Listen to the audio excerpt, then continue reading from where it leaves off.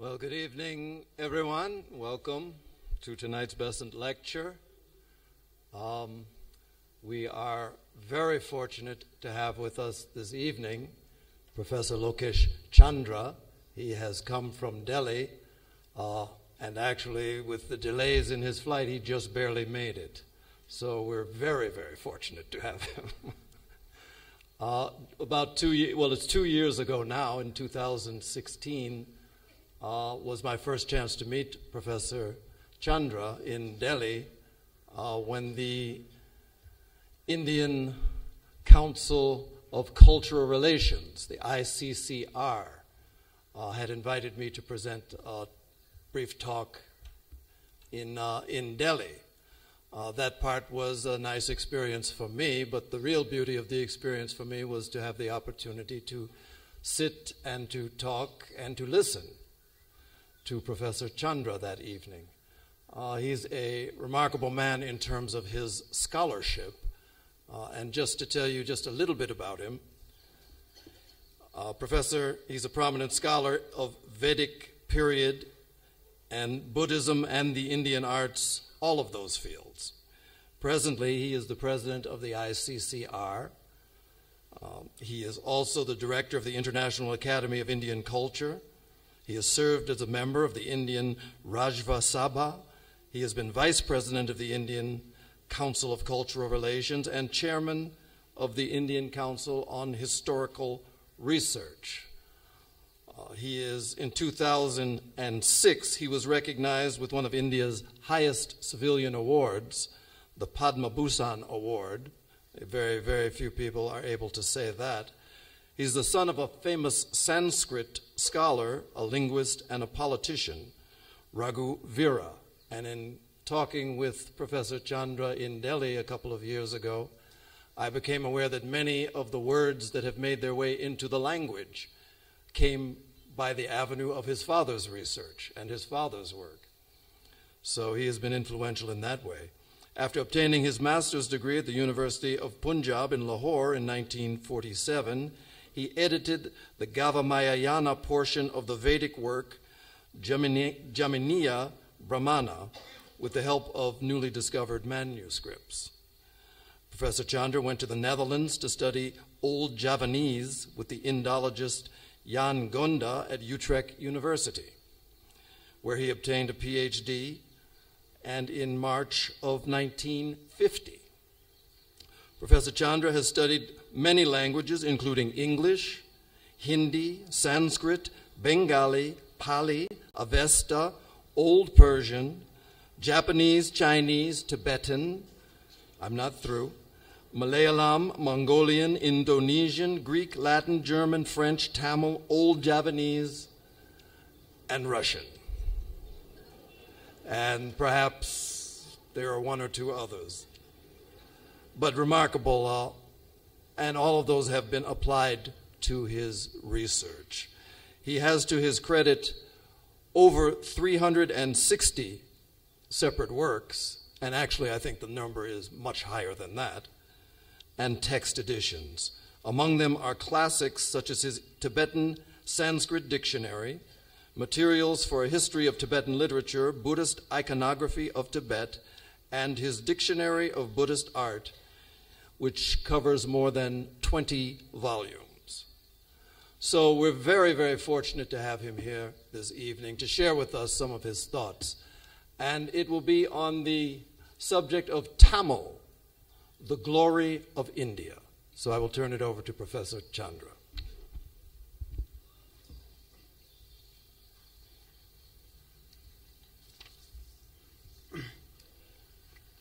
Mr. President and friends, I come here to pay homage to this great Theosophical Society. Three major events of the 20th century which have conditioned our freedom struggle, subsequent evolution as a nation, were born in this place. David Hume created the Indian National Congress, which governed India for a thousand years, sometimes in mind, sometimes in governments. Annie Besant, she for the first time spoke of cultural nationalism.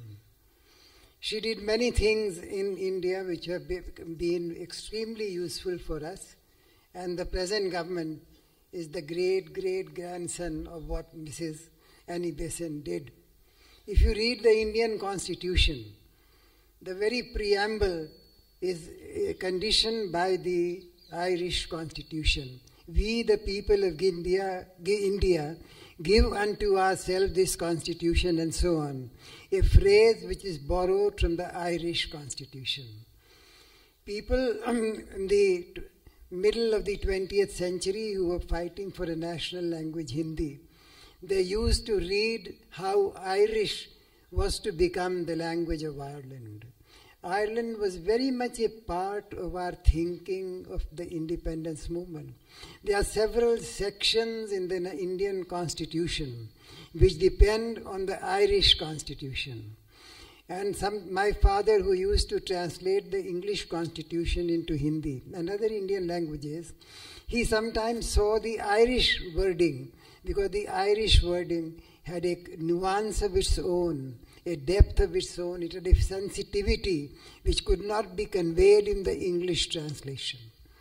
So, uh, Annie Besant became a great figure for us. And the present, uh, the whole idea of uh, Olcott and Madame Blavatsky, that has also conditioned India to a very great extent. First, I would like to say a few words about Madame Blavatsky. I was in the Soviet Union seven times. Once I went to see the Buryats, where the, the Russians met about 400 years ago the Mongols. The, they asked many questions with, to the Mongols. First was, Where is your Bible? They showed them a collection of Prajnaparamita texts written in golden ink on blue paper. The paper was made of, birch, uh, of bark of a tree and cloth, old cloth. It was that high. The Russians were thrilled to see that they have such a big Bible. They saw the Buryats living beautiful icons, statues, beautiful Thangka paintings, and the thought content the philosophic discussions that moved the Russians who were exiled there for their religious beliefs. And these Buryats, they never distinguished against them. They said, well, you, you have your own way of religious uh, ritual, we have our own way. So they, they were very much impressed. And they used to talk that from where does this religion, Lamaism of the Buryat come? It comes from Tibet. And from where did it go to Tibet? It went to Tibet from India. And that is how Madame Blavatsky was thrilled by the idea of the Tibetan, the first office of the Theosophical Society that they created in New York was called the Lamasery because there are too many Russian Tibetan objects. And even as late as uh, President Brezhnev, President Brezhnev was lying very ill the, the, the modern allopathic medicine could not treat him. He, I don't know how. I had a, the Russian ambassador was a great friend of mine, Kadakin. He loved the Tibetans. So perhaps he arranged it. So um, the Dalai, His Holiness the Dalai Lama sent a medicine for Brezhnev. And Brezhnev started to improve. And that was the beginning of traditional medicine in, in the yet Soviet Union. So, you know, the whole Russian ambience of respect for the Buryats, for their freedom, for their excellent, beautiful homes. And I visited these homes and also the homes of the Russian exiles to see the contrast. And the uh, uh, Buryat homes, they were, had beautiful carpets, not only on the floor, on the walls also. How to keep the rooms warm when the temperature is minus 50. You really have to see what minus 50 is. I went in December to see what minus 50 in Buryatia is, just to feel of how history emerges. So, you know, Madame Blavatsky's uh, experience of the whole Tibetan situation well, has again to be, you know, understood very well. And then, um, Steel Olcott. When he came to India, the first thing he did was to touch the earth of India as what he called my instinctive act of puja. That was the beginning of our cultural nationalism. In India, we had a problem. The, the, the Arya Samaj started the resurrection of the cultural ambience of India. Many others uh, did it. Paramhans, Ramakrishna tried it. But the English educated society could not be given an idea of what rich heritage they have. Uh, Olcott, for the first time, you know, they spoke to the Indian. First an American, secondly he spoke in English. So the whole idea of an Indian culture became very much a part of the anglicized or English speaking or English learning society of India. I think it was also a very important contribution of the Theosophical Society. So for me, there are four contributions of the Philosophical Theosophical Society, the Cong- Indian National Congress, the Annie Besant cultural nationalism, then this whole idea of the teaching the anglicized English learning class of Indians what is their culture. And out of this emerged the great Vivekananda. Vivekananda was actually a product of what was being done by Olcott and his friend. So the, I have a great respect for the Theosophical Society, that what it did for the 20th century perhaps, perhaps has never been highlighted. It deserves to be highlighted. How small men, but dedicated men. Dedication is important. It's not the grandeur, the position you hold, but the dedication with which you command your ideas. So that was a very uh, great contribution of the Theosophical Society, and I think it should be celebrated on a national level. The 150 years of the Theosophical Society should have been a national celebration because many of these political perceptions, many of the cultural perceptions, they have emerged from this place. You know, and now I come to Tamil. I was a young student when I went to the West, to Europe. I had a Jewish friend. I, I am a very strict vegetarian. So I took him one day and said, I want to see everything. What is meat? And I had never seen meat. Even today, I can't see meat. It doesn't, you know, somehow repels me. I don't say don't eat meat. But I say it, do, it doesn't suit me. Even the sight doesn't suit me.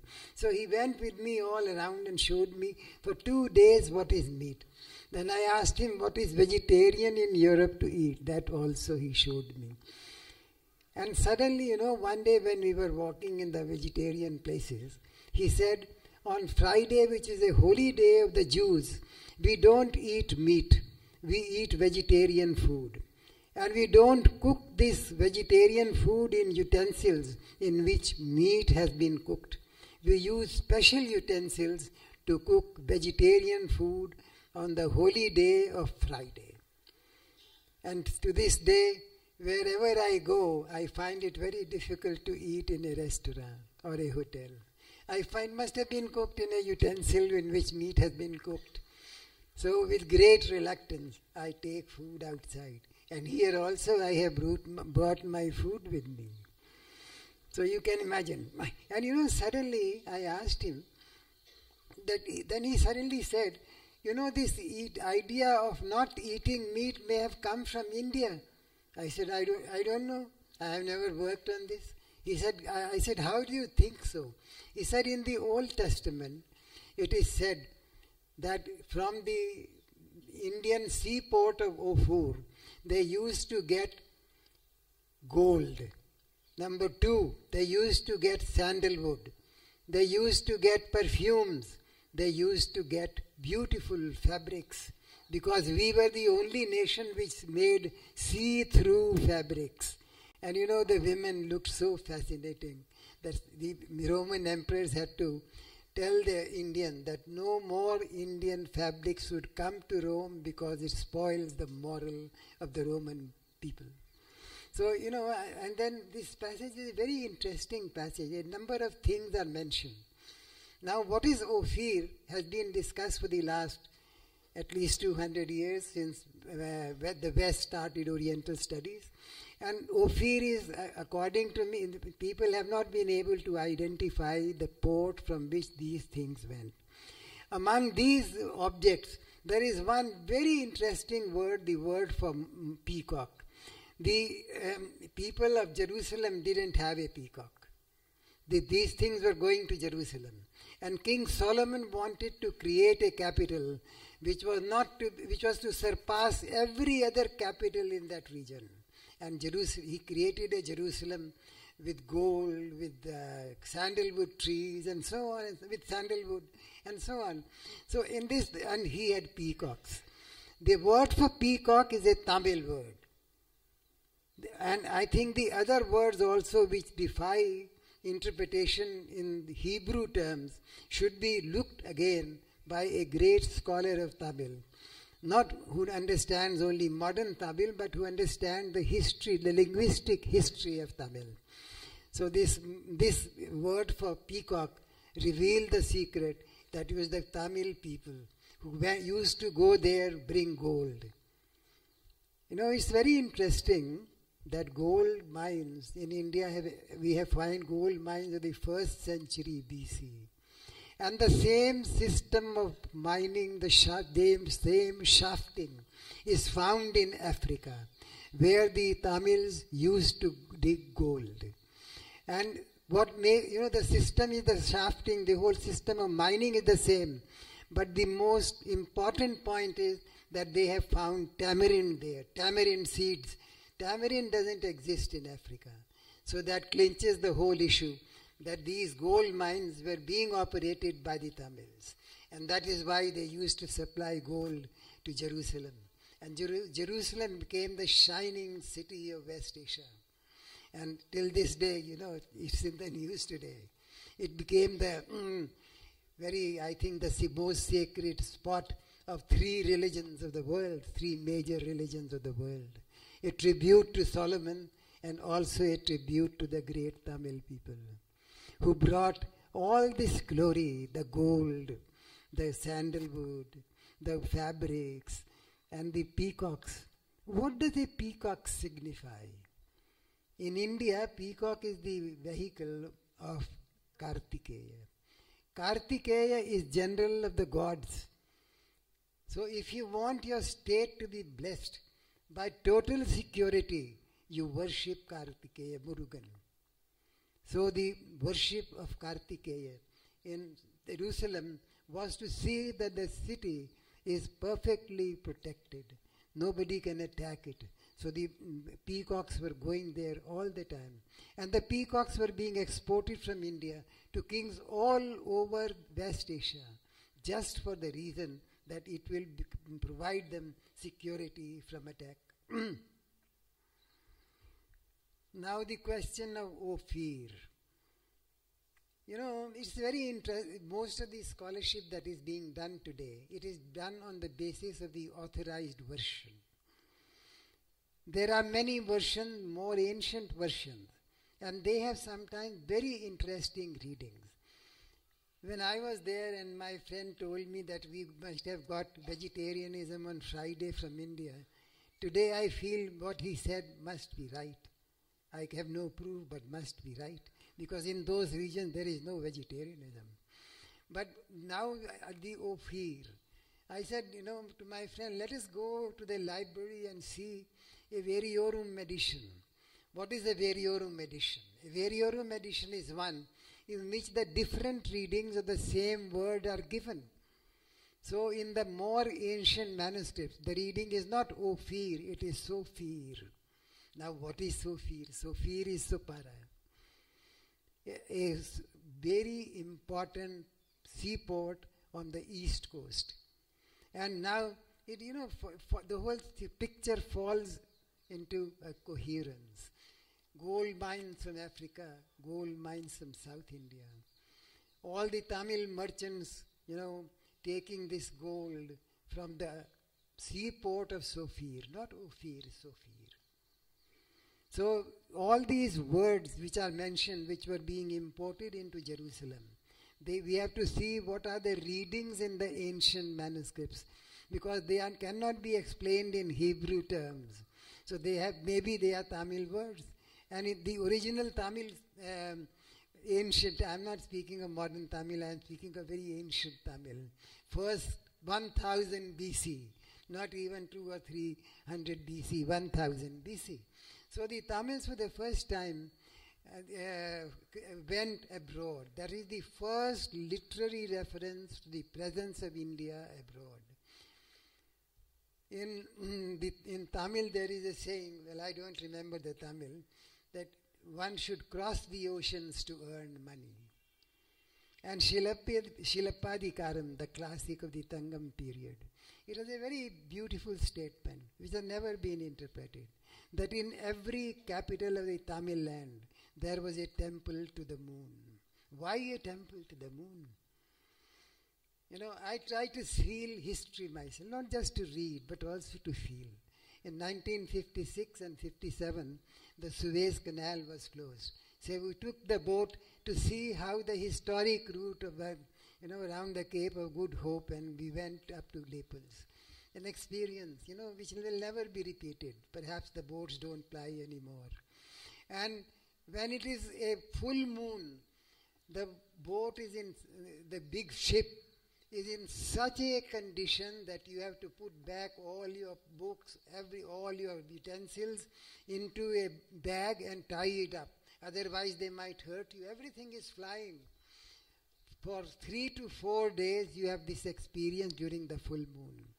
When it is half moon, when it is a crescent, the sea is placid and calm.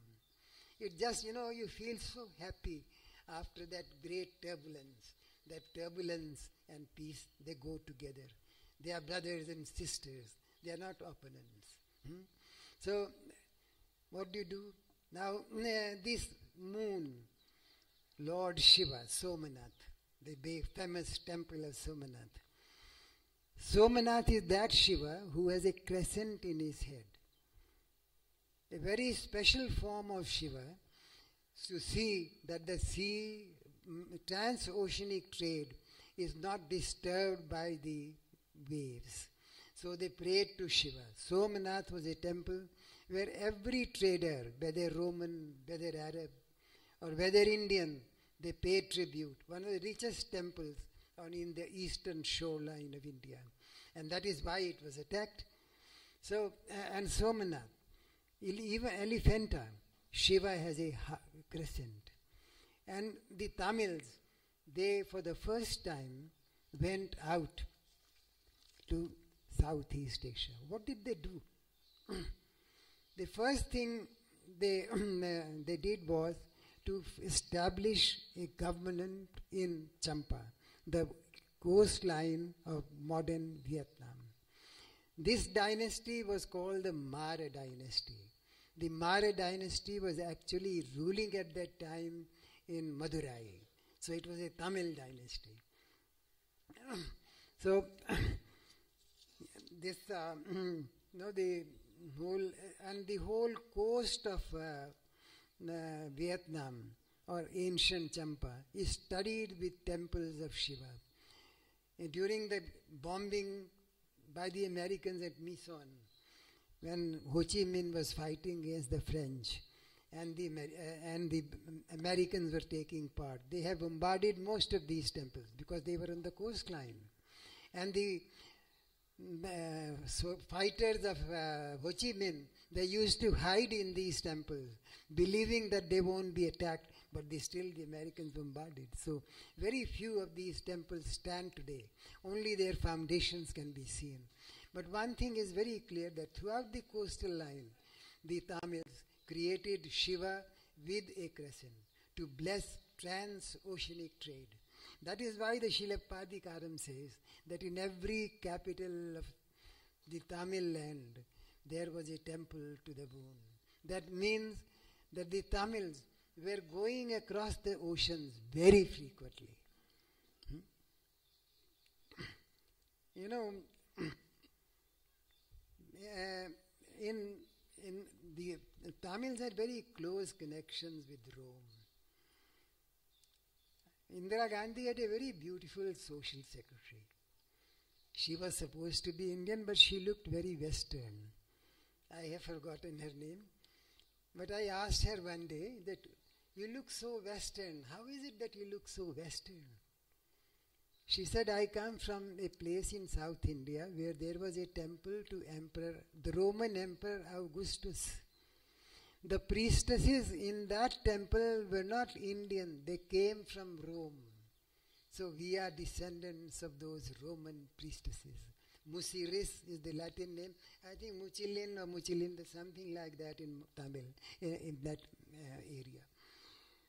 You see, uh, and then the, um, the South Indian kings sent a special delegation to Rome to attend the coronation of Emperor Augustus. And you know, Augustus, what does it mean? It means Ojishta, the mightiest king.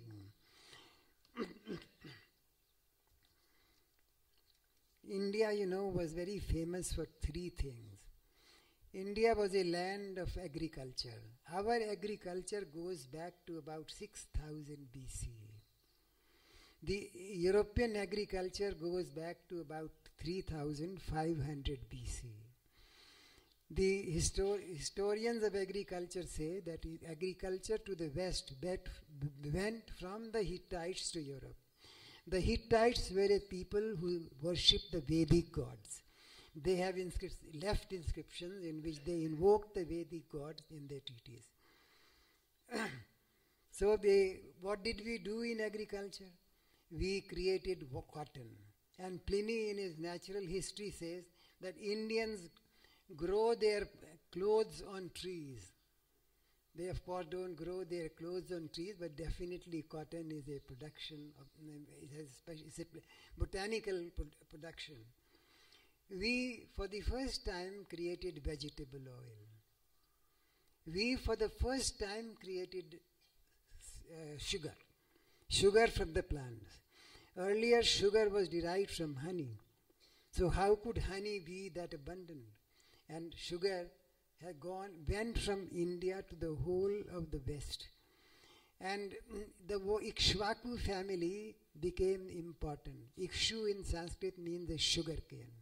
Ikshvaku means the family of the sugar cane because they were extremely rich because of the export of sugar. So we gave sugar to the West. We gave them cotton, fabrics, and we gave them vegetable oil, which became olive oil in their country. Why? When the ladies, you know, gave off their clothes, uh, I mean, uh, leather clothes, and took on the cotton fabrics, they looked more charming, didn't smell. Cotton smell, I know the uh, leather smells at times, particularly in those days when tanning was not of that high, of that high order. And then they started cooking in oil. But even today in the West, cooking is done mostly in lard. Oil cooking is very rare. Even in Delhi, in the big hotels, they cook in lard. They don't cook in oil, following the Western pattern. So, you know, um, this great. And now what did the Romans do? They, when they, these Tamil merchants were sending all their ambassadors, their cotton fabrics to Rome the Roman ladies, you know, dressed in those flimsy see through clothes. The Roman emperor had to pay for those clothes what the British calculated as half a million pounds every year. But of course, into half a million of that period has been billions and trillions of today. So the Roman emperor forbade that no woman would wear an Indian fabric, no money will go to India. So, what to do? the Tamils, you know, had no gold left. The gold that flowed from Rome stopped.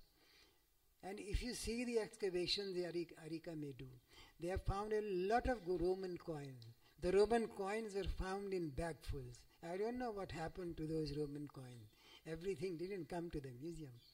We have Greek, uh, Roman amphora because wine used to come from Rome. so what did they do? the Tamils went in search of the golden land, the Suvarna Bhumi. Where did you find that Suvarna Bhumi is the question. I was a young student in the West and you know started studying old Javanese. Old Javanese was, is very interesting even to this day.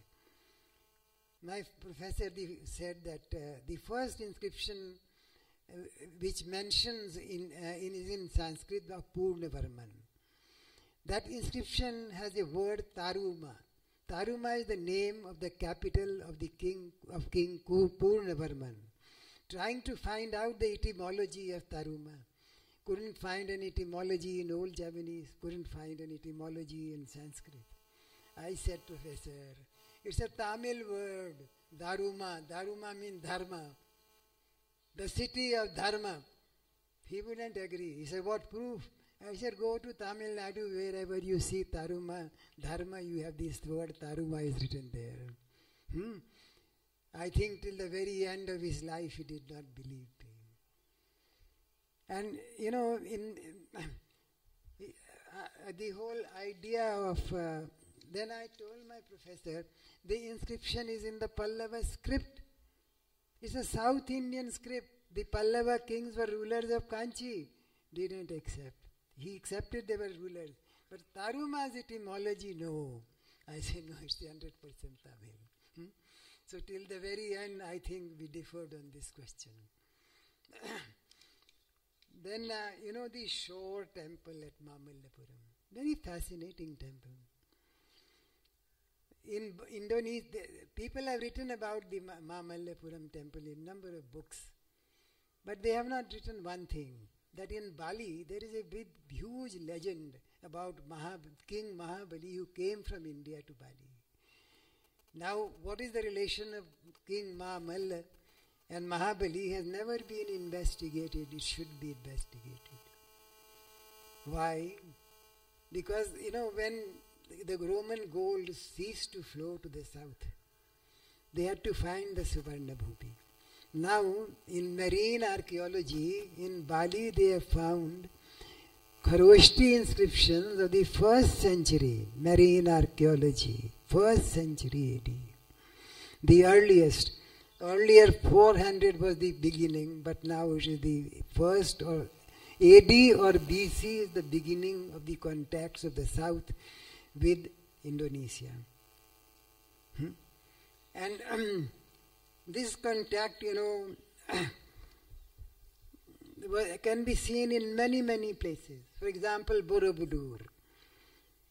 There was a very big, important Professor Casparis, a Dutch professor who taught at the School of Oriental and African Studies at the University of London, taught in many American universities, a great friend of mine.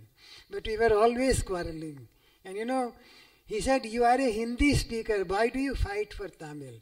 I said, for me, Hindi and Tamil are my languages. They are Indian. So what did he say? Borobudur. He said, Pudur is Sanskrit Bhudhar, mountain. I said, no.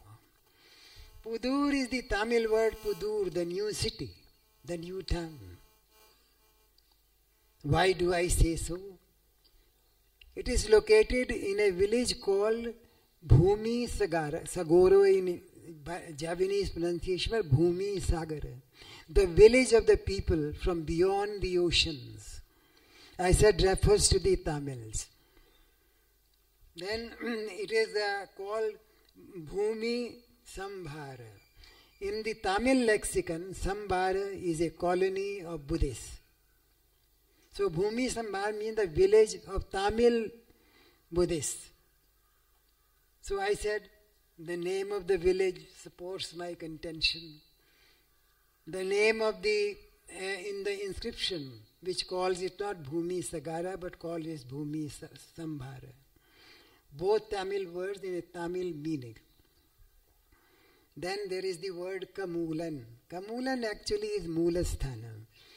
I looked up the Tamil lexicon and Moolasthana means a temple in Tamil. So I says it's a Tamil usage. Kamulan doesn't mean the origin of the dynasty of the Shailendras. It is a Tamil word which means a temple. And there are many other expressions in that. there is a small inscription found, Tiruranu. He, want, he said he's a name of an official. I said, no, Tiru is Mr. or Shri. Not actually Mr., but Shri is add, prefixed to the names of royal personages. So I won't say Mr., but I'll say His Highness. And Ranu, Ranuma is an army. The king ruling that area is called Sangrama Tunga. So I said, is the Tamil name of the king who was ruling this area. What does it actually mean that the Borobudur is also due to the great Tamil people? Both the Tamil traders and a Tamil king, whose Sanskrit name was Sangram Tunga, and whose Tamil name was Tiruranu, perhaps a nickname, domestic name of his. So, you know, and then in, in, in an inscription, the inscription begins with Shani, gives the date and in that date, Shanivar is not written with a Sha, but with a Cha. Tamil doesn't have a Sha, it has a Cha. So that also is a Tamil expression. So that great monument to the Borobudur, you know, is of course, if not completely Tamil, at least its origins go back to the Tamils. And a beautiful inscription which I don't want to relate at length. But the whole idea is that the Tamils have been one of the most dynamic people living near the ocean, celebrating the ocean. our transoceanic voyages are celebrated only in two languages. One is Tamil, that cross the oceans, and the other is Gujarati, where they speak of the voyages to Java, that how plenty could be gained by a voyage to Java. in Indonesia, there is the temple of Prambanan. Prambanan has 240 Parivara temples. There is no tradition except in the south of creating Parivara temples. Brihadishwara, I think, has 24 Parivara temples, I don't recollect now. But it has 240 Parivara temples. Again, is South Indian idea that there should be Parivara temples to the main temple. So wherever you look around, you have the Tamil presence. They have a goddess called Lara Kidul. Lara Kidul means Dakshineshwari, the goddess of the south. If you go to Cambodia, they still celebrate um, money. What is her name? Money, money current. I'll, I'll speak about it later on. Uh, now in Indonesia, in Java, there still are some Hindus and Buddhists. They celebrate their New Year's Day by a bullfight. Bullfight again is a very special part of the Tamil culture. Hmm? And what is it called? Um, uh, uh, Jilli Kattu. Hmm? So, I know how things live. Hmm? So, wherever you watch and wherever we do not find an explanation, I have to go back to my Tamil lexicon or to my books on Tamil Nadu and maybe I may find an answer. And many times I do succeed. Hmm? Question of Tibet. you know, it's very interesting that Tibet got Buddhism during the, uh, the train of Songtsen Gampo, but it did not find a firm footing because there was the other religion born. To find a firm footing, there was a scholar from the south, Kamalashila, mm, who was brought by the Tibetan king. And Padmasambhava also went there. So who was Padmasambhava? The Westerners say that he came from Udhyana, that is uh, in the northwest, uh, what is now called uh, Swat. So, but the, the word in, Tibet, Tibet, in Tibetan is not Udyan, Udyanam. Udyanam is the Kanchi. It, is it refers to the city of Kanchi. The last uh, year I was working on from where did Padmasambhava go. And I have found Sri Lankan inscriptions in, in which it is clearly said that he went from Sri Parvata to Tibet. He is the patron saint of Bhutan. Tamil Nadu should actually invite the king of Bhutan sometime and say that we have given you your patron saint. We want to celebrate his presence in the, in the land of Bhutan conjointly. So, Taranatha's history of Buddhism in India. He gives the genealogies only of the kings of Kanchi. So far, nobody has worked on that chronology. It's very important. The role Tamil Nadu played in the Indianization of Tibet, or Buddhization of Tibet. It was the eastern coast. So from Tamil Nadu, you go to Andhra Pradesh, you go up to Odisha, go up to Bengal, Assam, and then you are in Tibet. So the eastern coast was a very important part, and particularly because of the oceans.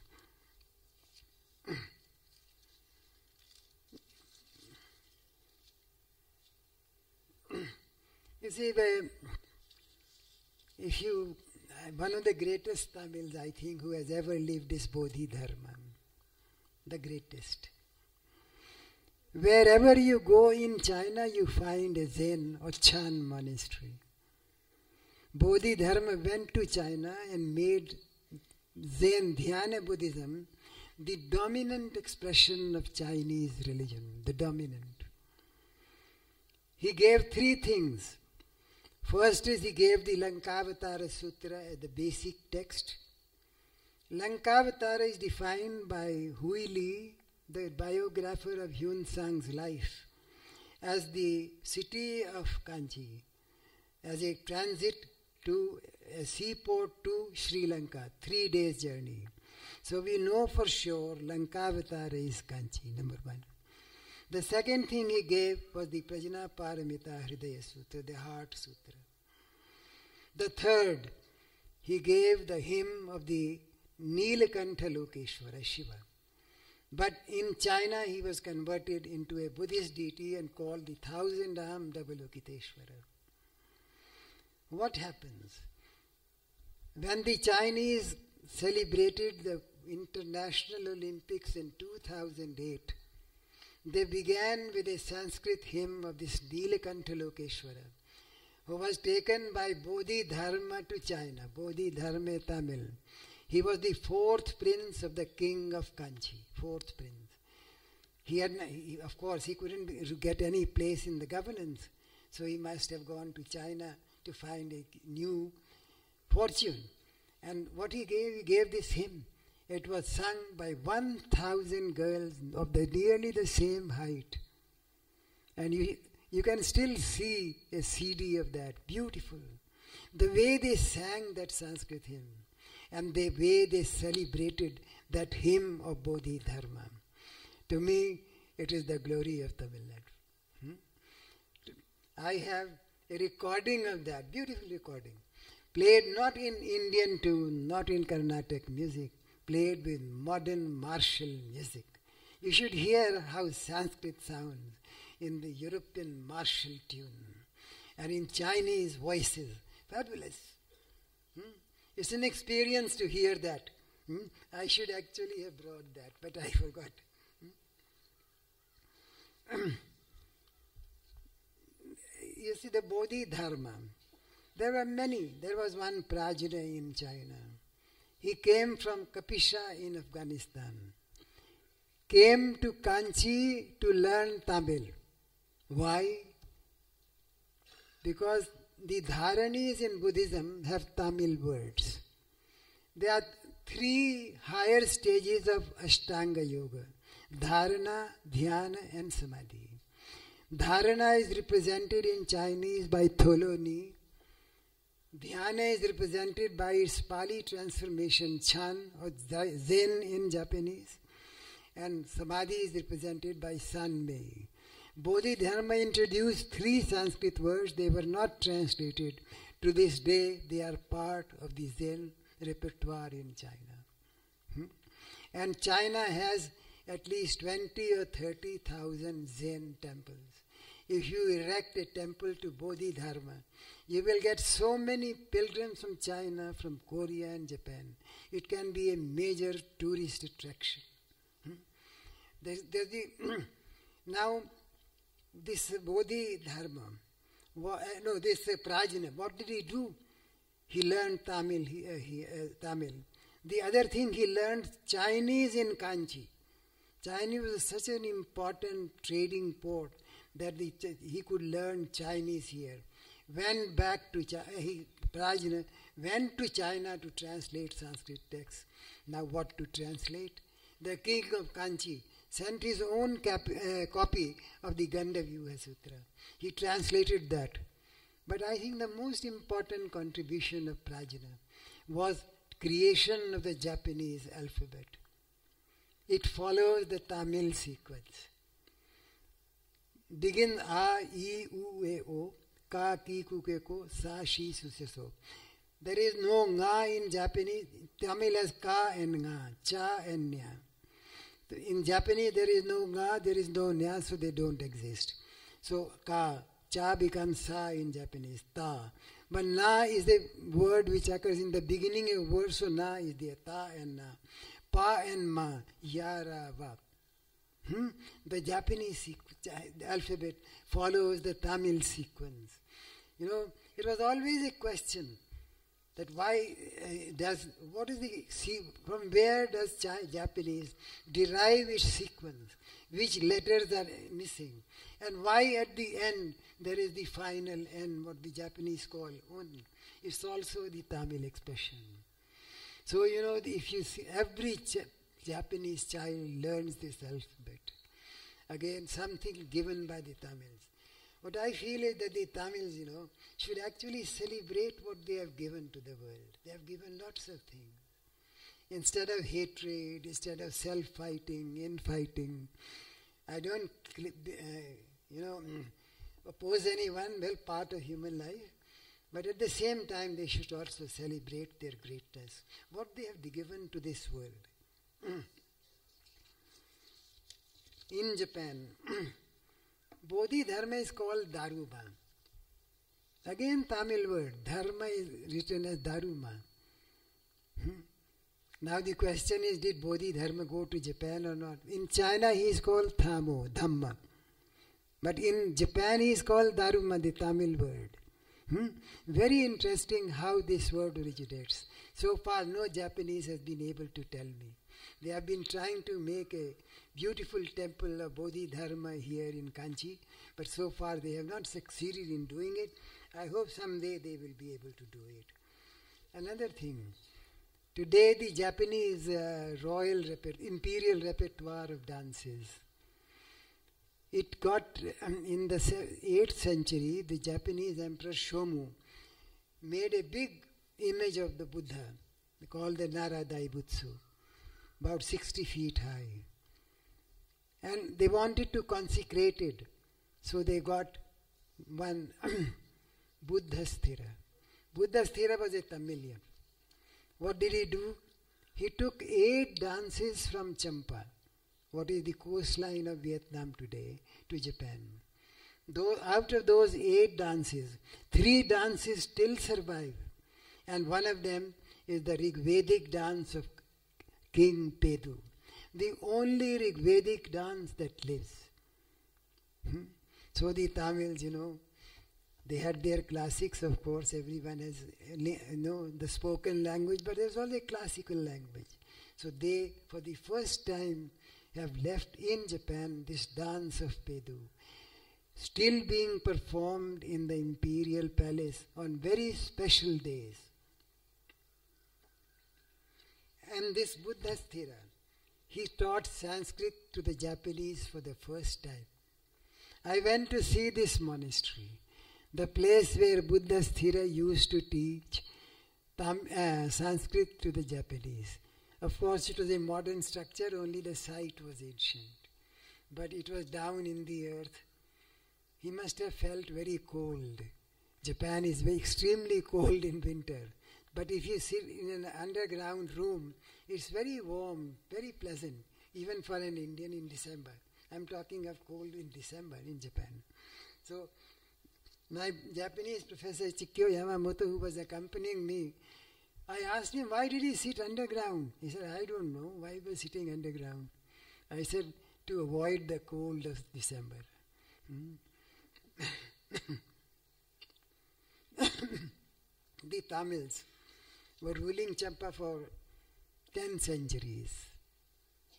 In the 10th century, the Arabs started invading the whole Champa territory. And by the 18th, the royal dynasty of Champa was dying out. Cambodia was also dying out, but the Cambodians were intelligent. They took the French protectorate. So Cambodia survived as a state. It survived as a culture. Actually, the whole history of Cambodia was created in the academic rooms of Paris. It was not created in Cambodia. It happened in Cambodia centuries ago, but recreated in the uh, study rooms of the French professors in Paris. Likewise, the whole kingdom of Champa, the whole glory of the chameleon people, were spoken of in very eloquent terms in Chinese historical texts. Why? That I mentioned. So, uh, you know, the, if they had also accepted the French protectorate, they would have lived on as a state, they would have lived on as a culture, they would have lived on as a religion. Even today, there are about 30 to 40,000 people of Champa who are Shaivas, and their ritual is Shaiva. if you go to Thailand, the royal ceremonies are all conducted in Tamil. The manuscripts are Tamil. They have two or three hundred manuscripts in Tamil. I, I think they have been microfilmed, or I am not so sure, the entire collection. So the people who do these worship, the, the Brahmanas, they are of Tamil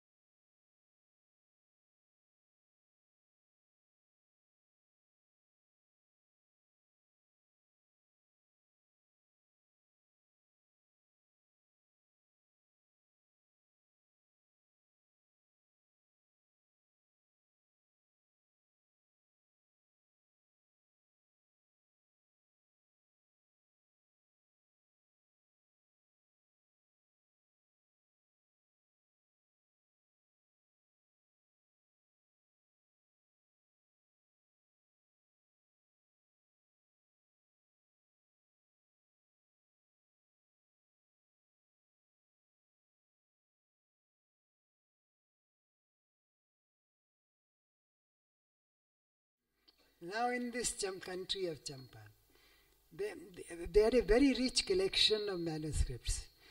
Throughout Asia, the manuscripts written on palm leaves were highly valued.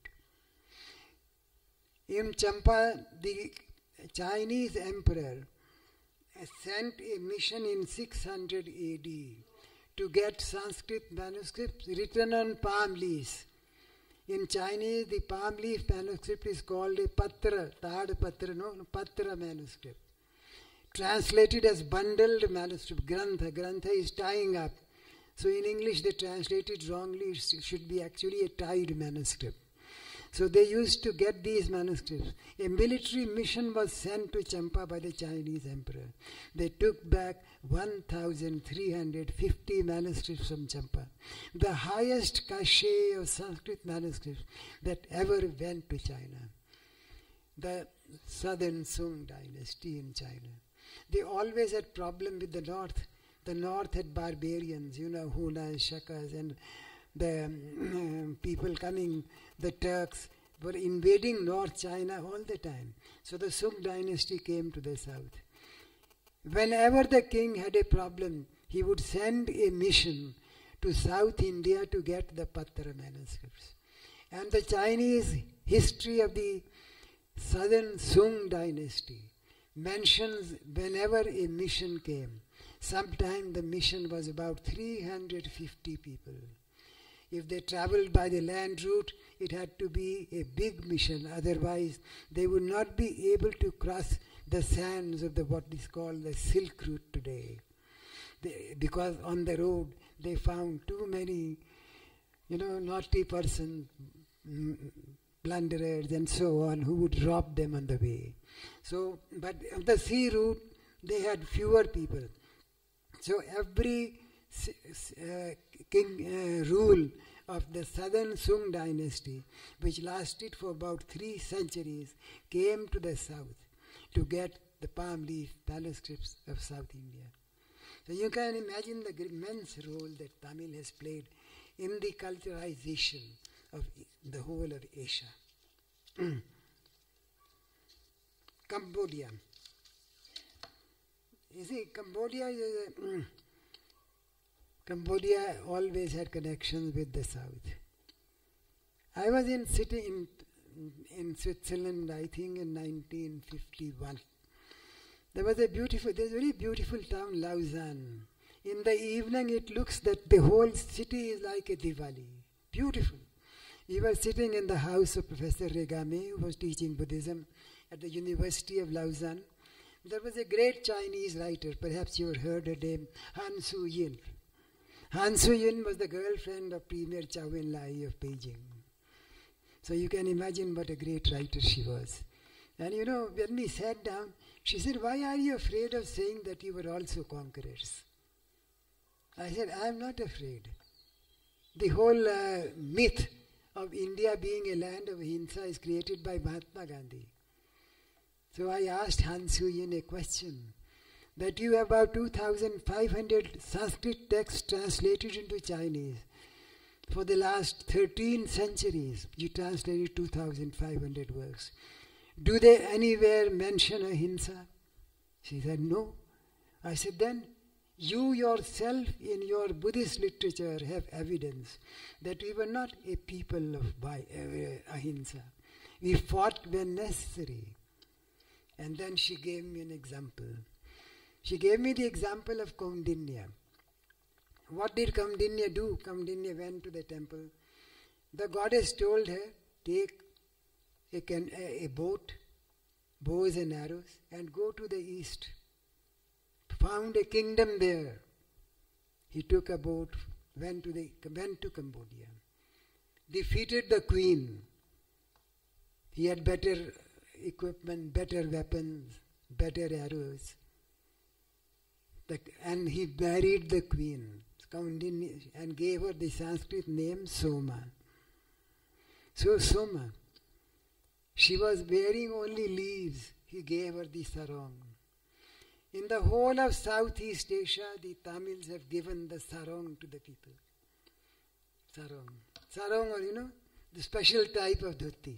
If you see the statues in Cambodia and elsewhere, they wear a South Indian style of dhoti, not the North Indian style with coming from the back. Hmm? What else did they give? They gave them cultivation. These people were tribals. The tribals had to be given a new civilization. And the first thing was giving them a dress, giving them a choli. Hmm? Famous Hindi sang Choli ke piche kya hai? If you remember. you know, and then the Chinese annals say that when the Indian Brahmins came, they, the, the tribals used to bring their girls to them in hundreds. Now the, my professor asked me, why did they bring them in hundreds? I said, very simple, they gave them dresses. Instead of leaves, they were wearing dresses, they were wearing cholis, they looked like charming women. So they, they gave them a charm. They gave them agriculture. In Cambodia, we have found agriculture, rice fields of the second century AD, given by Kaundinya. Now, we gave them a script. Why was the script necessary? Throughout Southeast Asia, you have the Pallava script, variants of the Pallava script. Why? Their small chieftains, when they started making kingdoms, again an idea given by Tamils, that have big kingdom because without a large territory you can't create a culture or a civilization. So gave them the eye concept of what a kingdom is and they started the making of these kingdoms. How to send messages to distant places.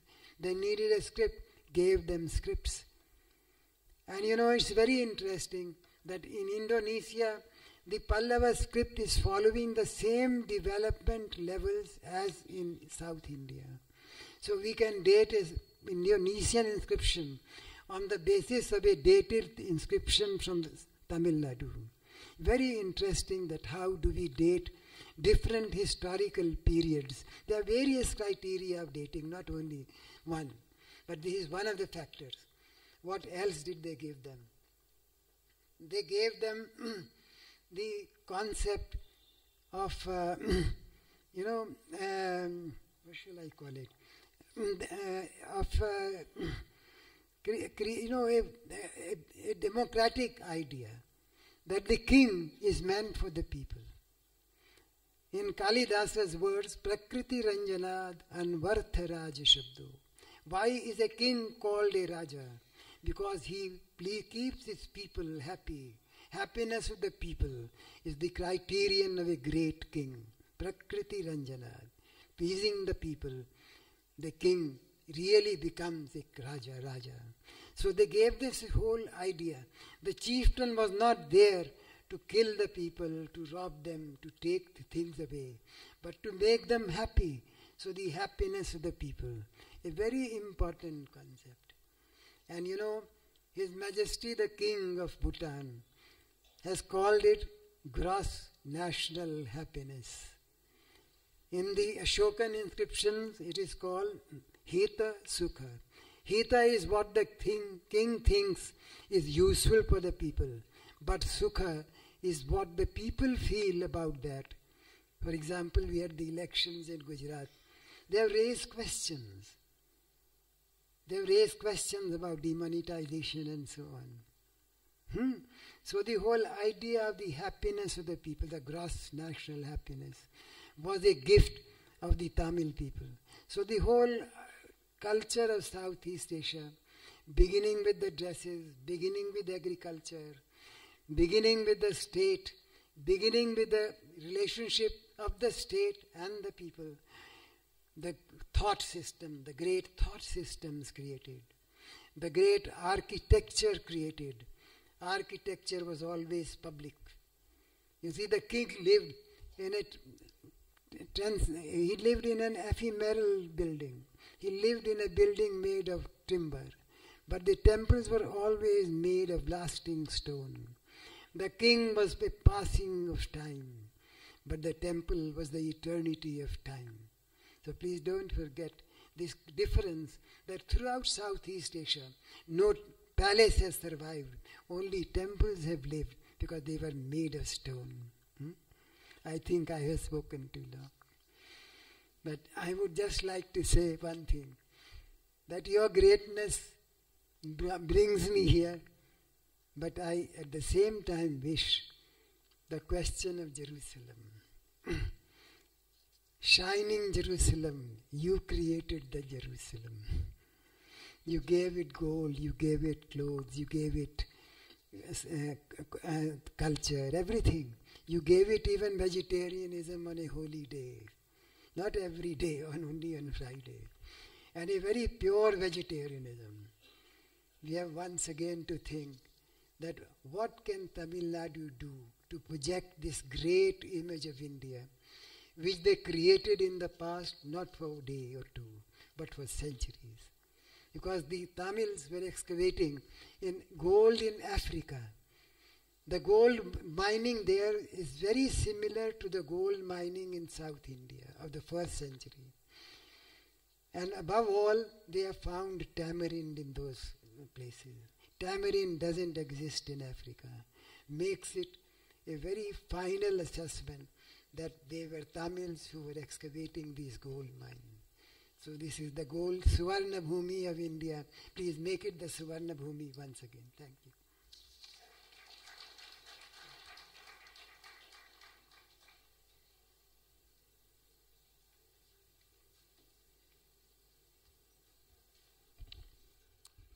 Well, as I said, Professor Chandra certainly did not disappoint. Uh, I want to thank you for this uh, exploration of history, really much like unfolding a mystery in many ways, but speaking about the greatness of this part of the world and how it has spread and has not really been recognized. So, once again, thank you, Professor Chandra. And we have a gift for you here. It is some volumes, some text.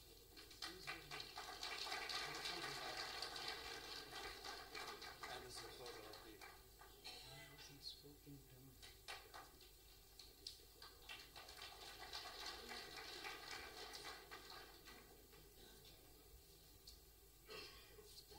So thank you, one and all. This concludes this session.